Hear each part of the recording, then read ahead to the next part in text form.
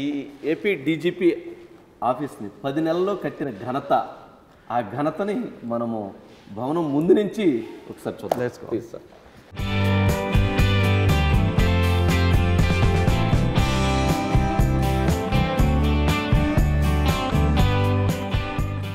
ఏంటి సార్ ఈ అందం ఏంటి?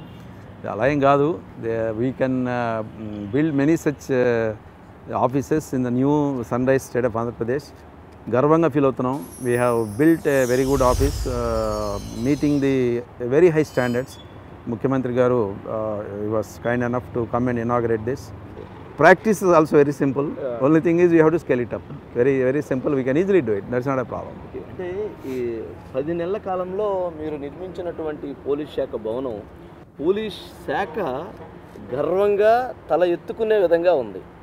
Yeah, basically that's what that's what every place. uh, My confidence is, you give me an area, I can uh, make it like this. Any any area you give it to me, I can do it. దేనికంటే ఆ నమ్మకం ఉంది ఆ, విధంగా చేయగలిగాం కూడా I'm very happy that we have a police headquarters building మాకు ఎంత మంచి బిల్డింగ్ ఉందంటే మేము కూడా మీ మాదిరిగానే చాలా గర్వపడుతున్నాం మా సిబ్బందికి మా సీనియర్ ఆఫీసర్స్కి ఇటువంటి ఎయిర్ కండిషన్ ఆఫీస్ ఇవ్వగలిగాను అనేటువంటి మహాసంతృప్తి నాకుంది. నాకు ఎప్పుడు కూడా మీరు గమనిస్తే నేను ఫైర్ ఆఫీస్ బిల్డ్ చేసాం ఏపీఎస్ఆర్టీసీ చేసాం అదేవిధంగా ఇప్పుడు police I leave I I I I feel very happy to leave a legacy వారసత్వాన్ని మీరు దీన్ని ట్యాగ్ లైన్ కింద వాడుకోవచ్చు మీరు.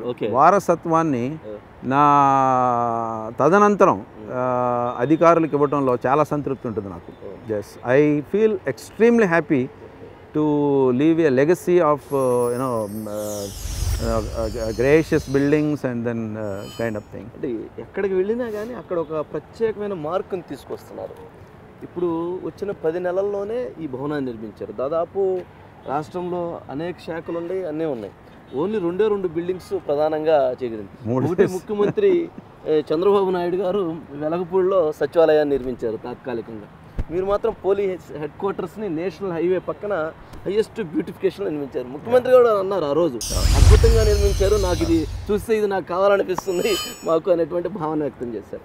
అదేవిధంగా ఆర్టీసీలో చేసినప్పుడు ఆర్టీసీ అంటే ఒక కామన్ పీపుల్కి ఆ బస్సులో వచ్చేటువంటి ఒక కామన్ మ్యాన్ అందరికీ కూడా చాలా సఫరింగ్ ఉండేది.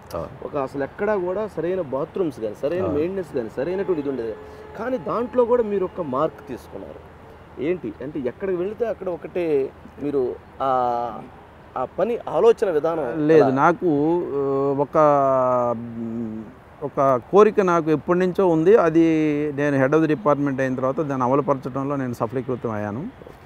కానిస్టేబుల్ కాదు కదా కింద స్థాయి ఉద్యోగం ఏ స్థాయి అతను చేస్తున్నాడు అనేది క్వశ్చన్ కాదు. అతనికి డీజీపీకి కూడా సమానమైనటువంటి ఫెసిలిటీస్ ఉండాలి. అందుకని ఇప్పుడు నా రూమ్లో మీరు రెస్ట్ రూమ్ చూసినా నా ఛాంబర్లో మా కామన్ టాయిలెట్స్ చూసినా ఒకే రకంగా ఉంటాయి. సో ఆ విధంగా నేను ఏంటంటే ఈ క్వాలిటీ ఎగాలిటేరియన్ అప్రోచ్ అనండి డెమోక్రసీ అనండి ఇంకోటి అనండి ఇంకోటి అనండి. ప్రతి మనిషికి కూడా మినిమం అదే ఫెసిలిటీస్ ఉండాలి అని బలంగా కోరుకునేటువంటి వ్యక్తిని నేను. ఆ దానిలో భాగంగా ఐ డూ ఎవ్రీవేర్. ఫైర్లో చేశాను అదేవిధంగా ఆర్టీసీలో చేశాను. ఆర్టీసీలో మేము టాయిలెట్స్ కట్టి మేము మెయింటైన్డ్ బై ఏపీఎస్ఆర్టీసీ అంటే ఎంత గర్వంగా పెట్టామంటే ఆ. రకంగా ఉంటాయి క్లెన్లీనెస్ అని చెప్పని. సో ఒక్కసారి అయితే నాకు చాలా సంతృప్తినిచ్చినటువంటి సమ- విషయం ఏంటంటే ఒక కపుల్ బస్ స్టాండ్కి వచ్చారు. నార్మల్గా నేను బస్ స్టాండ్లో ప్రయాణికుడి మాదిరిగా తిరుగుతూ ఉండేవాడిని ఆ రోజుల్లో.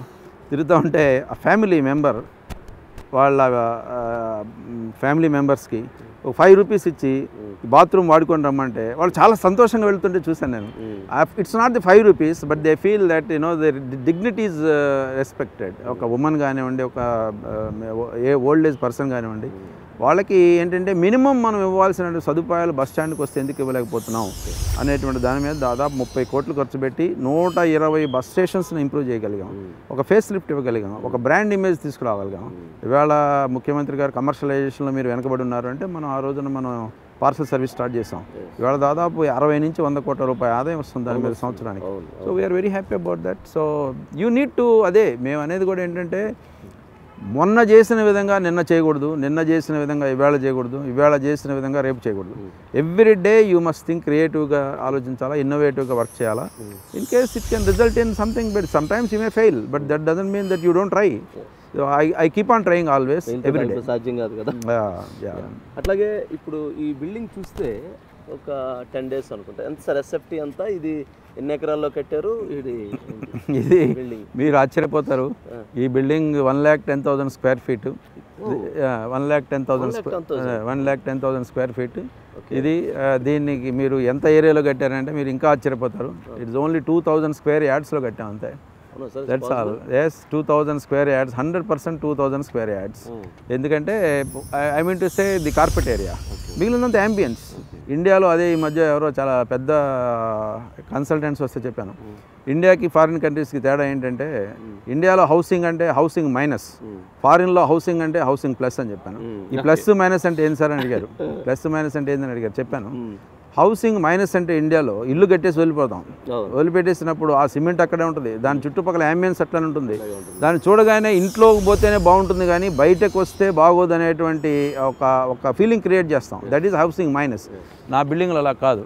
ఇవాళ ఇంతమంది కూర్చొని చక్కగా టీలు కాఫీలు ఈ ఈ అంబియన్స్లో వాళ్ళు ఉన్నారు అంటే I don't think any foreign country also has this kind of I mean ambience so ఎందుకు గర్వంగా చెప్తున్నామంటే యూ క్రియేట్ దాట్ ఇది కట్టడానికి ఇది చేయడానికి పది నెలలు అంటే చాలా సింపుల్. ఈ మొత్తానికి కాస్ట్ మాకు ఇంత పెద్ద బిల్డింగ్ మీద ముప్పై ఆరు కోట్ల బిల్డింగ్ మీద మాకు అంబియన్స్ డెవలప్మెంట్ చేయడానికి ఇరవై ఐదు లక్షలు మాత్రమే ఖర్చు అయింది ట్వంటీ ఫైవ్ ల్యాక్స్ అంటే less than one percent so why don't we do every other place ఇవాళ కామన్ మ్యాన్కి ఎఫర్డబుల్ హౌసింగ్లో కానివ్వండి ఇంకో చోటు కానివ్వండి ఇంకో చోటు కానివ్వండి హౌస్ కడితే మేక్ ఇట్ హౌసింగ్ ప్లస్ చేయండి దాన్ని. దాని పక్కన అంబియన్స్ డెవలప్ చేసి ఇవ్వండి. అంతేగాని మీరు కట్టి ఆ కట్టిన సిమెంట్ అక్కడ వదిలిపెట్టి రోడ్డు సరిగా లేక కనీసం నాలుగు చెట్లు వేయలేక ఇచ్చిపోతే ఏమవుతుందంటే ఈ గార్డెన్ అనేది ఈ లివింగ్ అంబియన్స్ అనేటువంటిది రిచ్ మ్యాన్కే ఎందుకు ఉండాలి?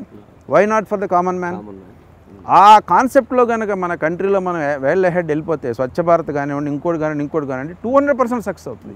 టూ హండ్రెడ్ పర్సెంట్ సక్సెస్ అవుతుంది. స్టిల్ టుడే ఈవెన్ టుడే మన వాటర్ బాడీస్ని రెస్పెక్ట్ ఏమో. మనం రోడ్డు మీద పోతుంటే రోడ్డుకి రెస్పెక్ట్ ఏమో. So this way what we are spoiling our own this thing someone need to correct them నవ్యాంధ్రప్రదేశ్లో రాష్ట్ర విభజన జరిగిన తరువాత అక్కడ ఉన్నటువంటి పోలీస్ భవనం ఇప్పుడు ఇక్కడ ఉన్నటువంటి పోలీస్ భవనం విభజన జరిగి వచ్చినటువంటి వాళ్ళందరికీ కూడా ఇక్కడికి వచ్చి ఈ బిల్డింగ్ చూసుకున్న తర్వాత ఒక చిన్న వన్ పర్సెంట్ తృప్తి మాత్రం మిగులుతుంది.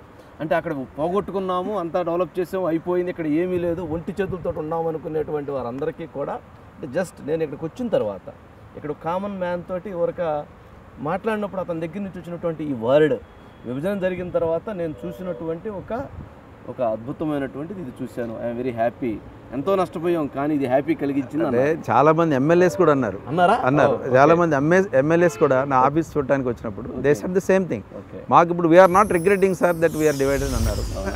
బిల్డింగ్ చూసిన తర్వాత but of course we have to regret lot many things resources కానివ్వండి మనకి ఇన్స్టిట్యూషన్స్ లేకపోవడం.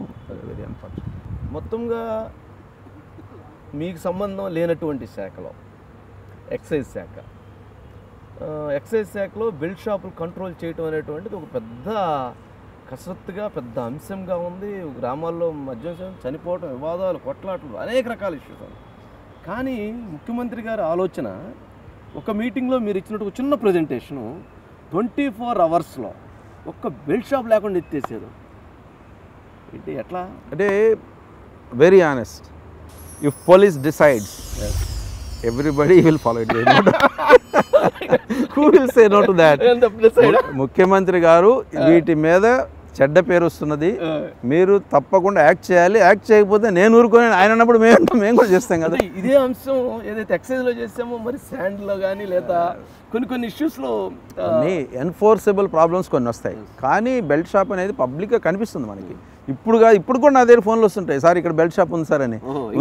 ఇప్పుడు కూడా? వస్తాయి వస్తాయి వస్తాయి. లేకుండా ఎలా ఉంటాయి? Maybe. Few but what I'm saying is it is a fact see overnight you can't control everything but as you said ninety percent ఎప్పుడైతే కంట్రోల్ అయినాయో దాని మీద చాలా ఓకే అయితే రాష్ట్ర ముఖ్యమంత్రి చంద్రబాబు నాయుడు తోటి